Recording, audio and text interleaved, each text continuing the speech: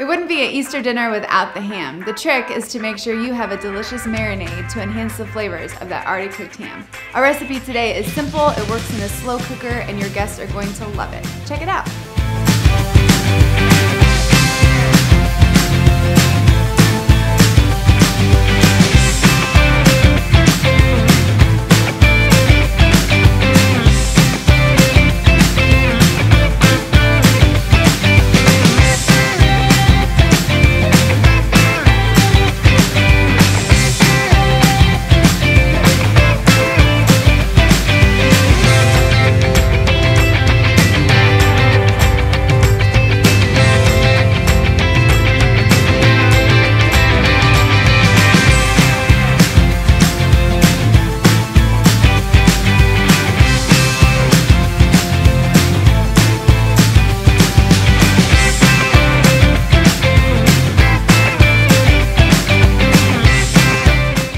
Complete recipe and so many more, you can find them at mypricechopper.com.